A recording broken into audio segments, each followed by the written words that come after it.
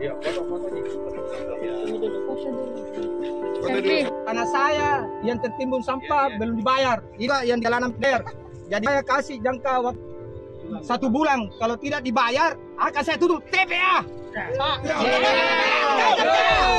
berapa luasnya Tanata ini yang belum dibebaskan? Ini 80 hari lebih. Hmm.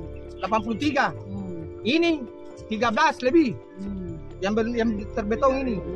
Sebelumnya sudah ada nih pembicaraan sama pemerintah Ada, dijanji-janji saja bilang mau dibayar.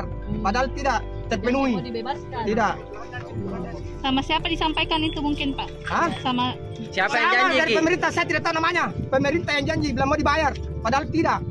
sejak kapan itu Pak? Mulai dari 2021 Dari diadakan rapat di balai kota apa di DPR. Ya, Janji-janji siswa Ji.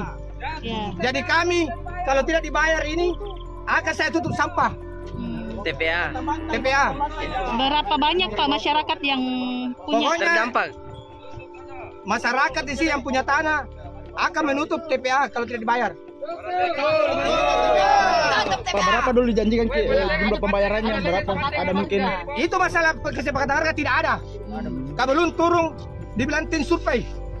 Belum tahu, cuma surat di di dilihat di store. Nyatanya sampai sekarang tidak ada pembayaran.